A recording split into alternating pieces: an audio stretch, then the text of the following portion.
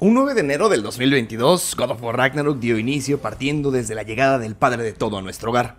Y desde ese momento un montón de dudas quedaron disipadas, nuevas preguntas quedaron abiertas, pero lo que nadie puede negar es que vivimos una experiencia increíble.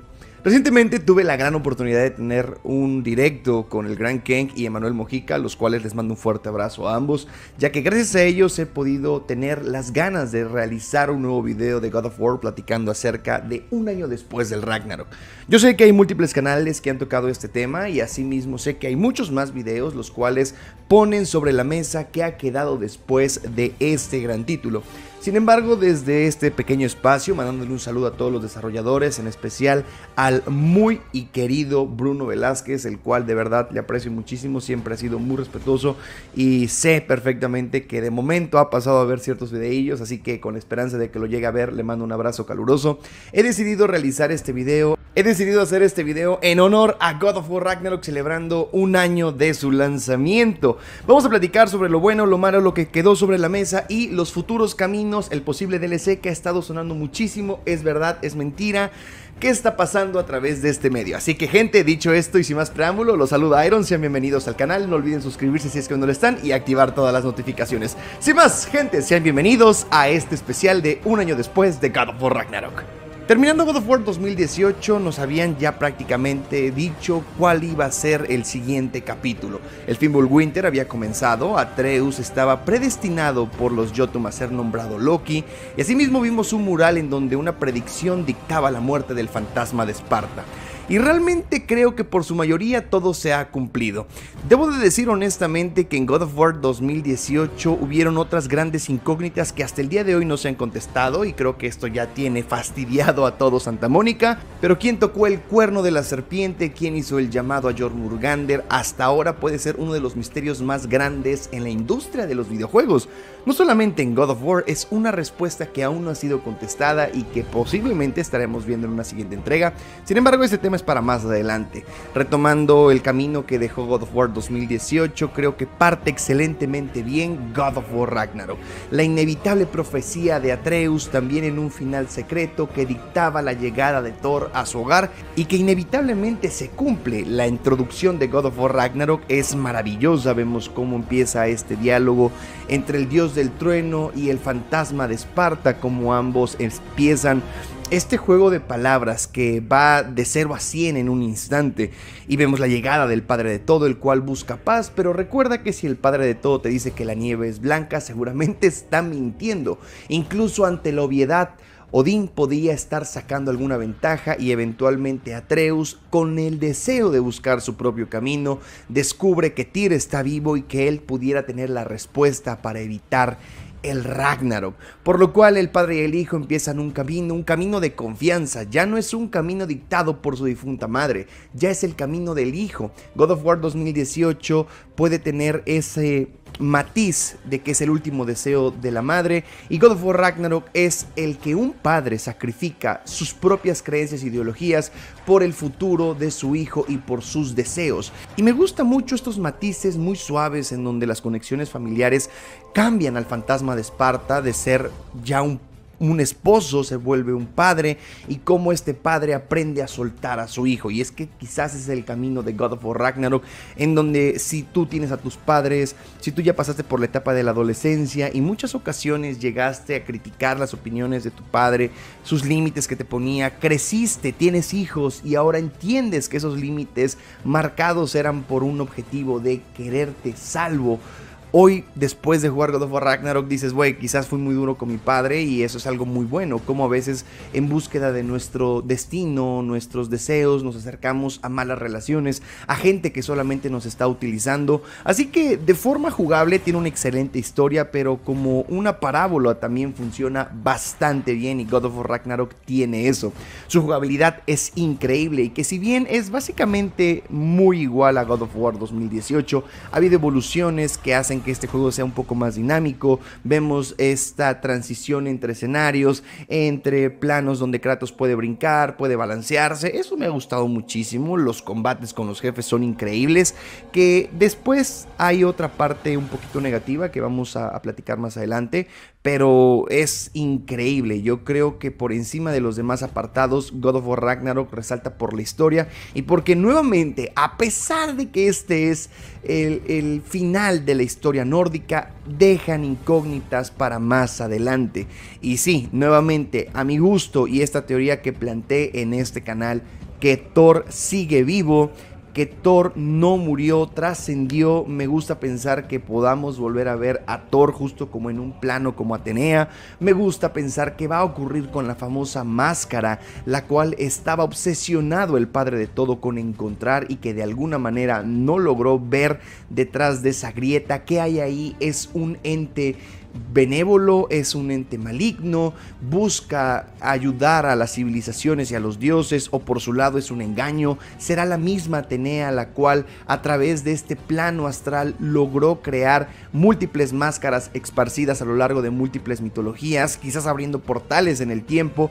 Digo, al final hay que recordar algo muy importante. Puede ser que de alguna forma los hilos del destino se hayan quedado en Grecia abiertos y de hecho el templo del destino no se destruyó, no sabemos qué ocurre en él. Estaba en la torre del Fénix, por lo cual quizás la destrucción de Grecia no tocó al templo de, de, las Nornas y Atenea en su plano astral logró acceder a algún punto del pasado para soltar estas máscaras en múltiples mitologías, buscando ella el control. Recordemos que Atenea es un ser de sabiduría y trastornada por cómo muere, cómo desea obtener el poder de la esperanza, quizás busque en otros reinos llevar su palabra, llevar lo que ella tiene que decir y trasquiversada quizás un poco, manipulada a los demás dioses presentándose ella como un ser por encima. Es una posibilidad muy buena. Quien toca el cuerno pudo ser quizás un Jotun. Si lograron ver la entrevista con el Gran Ken y Emanuel Mojica, que si no lo han visto, por favor, les pido que la vayan a ver. Aquí está el link fijado. Emanuel Mojica nos platica que él al estar muy cercano a God of War y a Santa Mónica en una invitación, en una charla, me parece, parafraseando un poco, no recuerdo muy bien cómo estuvo el contexto, pero le comentaron que entre tantas cosas que quisieron meter, dejaron a un lado lo de el cuerno de la serpiente y que esa respuesta puede ser contestada más adelante porque el mismo Cory le dijo, ¿y tú crees que solamente existe un Jotun en Midgard? Y esto está muy, muy, muy curioso. Por lo cual, pues bueno, esas son todas las cosillas buenas de God of War eh, Ragnarok, eh, de esas conexiones que me gustaron y que definitivamente, pues sí, después de un año apetece volver a tocar este juego. Se acercan navidades, se acercan momentos de cierre de año, quizás momentos de reflexión. Y God of War Ragnarok a través de su gameplay creo que vale la pena volverlo a probar, jugar y dejar después de este año volver a tomar nuestros controles. Un 9 de... Bueno, ahora vamos a platicar acerca de los aspectos negativos, las áreas de oportunidades que desde ser un fan, desde las cosas que me hubieran gustado ver, menciono. Al final de cuentas, ni soy crítico ni soy especialista en el tema, soy un simple fan que lleva años jugando God of War y que bajo sus especulaciones esperaba ver ciertas cosillas. Puedo decir que si bien God of War Ragnarok no es un mal juego, es un juego promedio. Y siento que pudo haber sido el mejor God of War que jamás existió. Tenían todo. Tenían valquirias corruptas aún. Tenían dioses que no salieron. Tenían héroes que pudieron utilizar. Como, no sé, yo en algún momento de mi vida, no sé si ustedes lograron ver la película de Beowulf. Y por eso entonces yo jugaba mucho God of War y recuerdo haber pensado, sería increíble ver un juego en mitología nórdica con este ambiente, con estos seres. Y posteriormente, cuando sé que hay un God of War nórdico, esperaba ver a héroes. Y me hubiera a mí encantado ver a Beowulf como uno de ellos. Eh, no sé en la línea del tiempo si era momento de que apareciera este héroe, pero creo que pudieron haber dado la oportunidad de mostrar héroes, mostrar otros dioses, que se hayan limitado a presentar a Thor, a Heimdall y a Odín como los dioses antagonistas, se bajoné un poco. Yo esperaba que este juego fuera un God of War 3 al cuadrado, hermano. O sea, tenían todo sobre la mesa, pudieron haber hecho acontecimientos muy grandes y que si bien son sorprendentes, no siento que lleguen a ser trascendentes. El tema de la serpiente del mundo y este conflicto que tenía con Thor, yo pensé que de alguna manera cuando eh, vi ciertos gameplays de Thor, dije, man, estaría increíble que nos hagan jugar con Thor que en algún punto del juego utilizáramos a este personaje y nos enfrentáramos a la serpiente del mundo. ¿Te imaginas tener la perspectiva del antagonista peleando contra Jormungandr y enviarla al pasado? Que fuera una batalla de tres secciones, que te costara trabajo. Sé que pudo haber sido complicado porque cómo peleas contra la serpiente, pero pudieron utilizar a su favor que era una serpiente recién nacida, entre comillas, era un Jotun que se transportó en su alma esta culebra.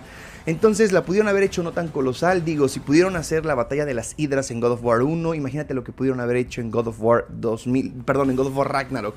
Entonces son esas pequeñas cosillas que me hubieran gustado. Eh, no concibo ni voy a concebir que el bosque de hierro haya durado aproximadamente una hora y media y que el Ragnarok dure por mucho unos 40 minutos. Y se los digo por experiencia, porque puedo ponerles mi gameplay en vivo jugando en Dame God of War en el máximo nivel de dificultad y fue rapidísimo. Eh, lo que quizás me costó más tiempo fue la batalla con Thor, con Odin un poco, pero hasta ahí. Entonces, son varias cosas que de alguna forma sí llegan a bajonear, lo digo, lo digo en serio, bajonean, pero pues nada, es lo que hay y definitivamente lo único, lo único que pudiera yo en ese aspecto hablar es que dejaron pasar muchas oportunidades de hacer un juego épico. Épico es la palabra. Es bueno God of War Ragnarok, sí lo es, pero no es épico.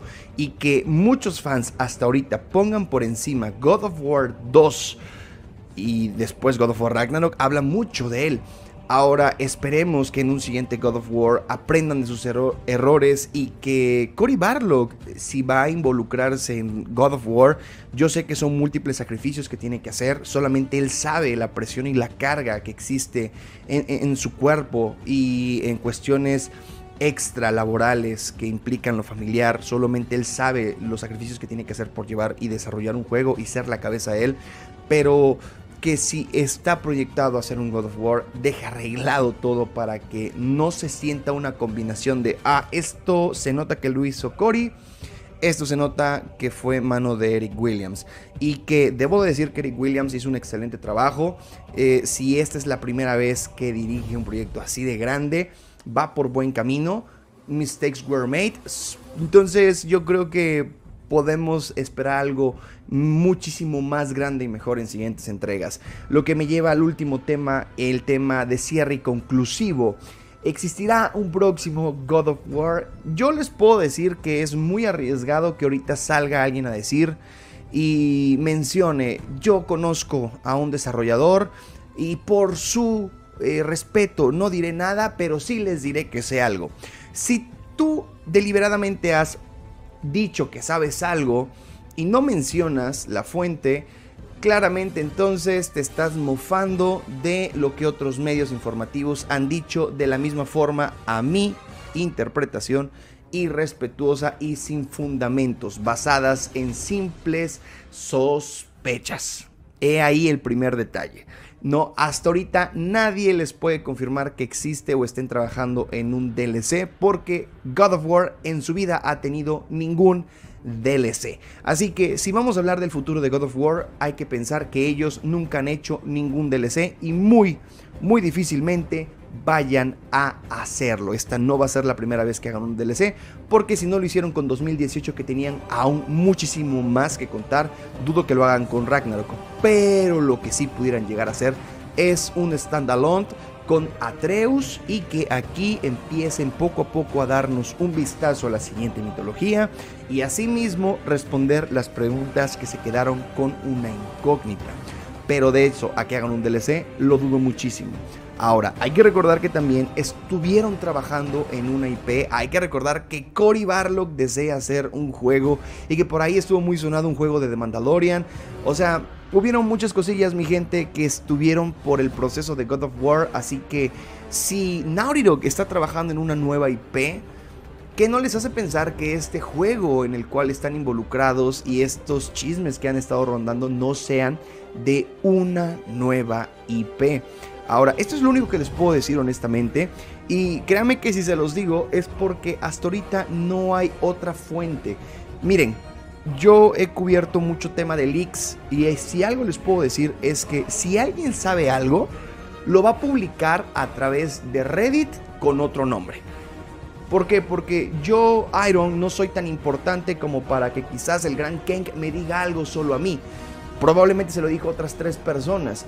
Y a partir de ahí, una de ellas dice, güey, me voy a meter a subreddit, a Reddit, voy a hacer un perfil falso y ahí voy a publicar todos los leaks que me contaron de God of War y quizás alguna imagen. Ey, pero yo no lo dije. Si me explico, siempre hay una fuente con algo visual y hasta ahorita no hay nada. Simplemente gente diciendo, ah, yo sé algo, pero no les puedo decir nada. Pero recuerden que si sale algo, yo se los dije primero. Eso es charlatanería y hasta ahorita no hay que tomar esa información como cierta. Les pido encarecidamente no se dejen llevar por esos por esas informaciones porque hasta ahorita todo indica que no hay nada de God of War y a pesar de que ese actor de voz ruso dijo algo, no significa ni dio pie a que estuviera hablando de God of War. Simplemente dijo que estaba trabajando en algo de su juego favorito y hasta ahí. Y probablemente se refería al estudio, por, eso borró el tweet, sabiendo el relajo que estaba pasando. Entonces, gente, yo lo único que les puedo decir es que no hagamos de God of War lo que está pasando con The Last of Us que es un tema muy difícil, que es un tema que la fanbase está esperando el standalone de facciones y no ha llegado y podemos llevar a ese mismo precipicio como comunidad God of War. Así que mejor esperemos que la desarrolladora nos diga las cosas. Así que bueno, algo con lo que quiero cerrar este video es que al menos jugué tanto God of War Ragnarok, me lo pasé al 100%, que no me quedaron ganas de volverlo a tocar después de un año digo, creo que ya es momento. Así que eso es algo también peligroso. Es peligroso tanto para la comunidad como para los desarrolladores que hagan un juego que no te motive a volverlo a tocar, que no te motive a esperar nada de él, ni tampoco a ver nada de este juego. Es simplemente mi opinión y me gustaría que ustedes me hagan saber en la caja de comentarios si les pasó lo mismo. Si de alguna manera ustedes también sintieron que después de jugar God of War Ragnarok dijeron, ok, ya, muchas gracias, lo que sigue y desde cuándo no lo tocan. Dicho esto, nuevamente les mando un fuerte abrazo a todos y a cada uno de ustedes. Háganme saber en la caja de comentarios qué les pareció God of War Ragnarok. ¿Les gustó? ¿No les gustó? ¿Qué, qué ha pasado después de un año con la comunidad? ¿Cómo se sienten? Lo más importante, ¿esperan un próximo juego? ¿De qué? ¿Basado en qué? Y pues sin más, les mando nuevamente un fuerte abrazo a mis amigos de la comunidad que este me juega, al buen Trailerama, al buen Trey Tiger, al buen Emanuel Mojica, al buen Kenk, a, Bruno Velázquez, a toda la desarrolladora de Naughty que si en algún momento ha logrado ver alguno de estos videos, sepan que con mucho cariño y con mucho respeto se hacen estas retroalimentaciones, comentarios y han hecho un excelente trabajo. Espero que aprendamos de nuestros errores y hagamos cosas aún muchísimo más, más épicas. Dicho esto, me despido. Recuerden que fui Iron y nos estamos viendo la próxima.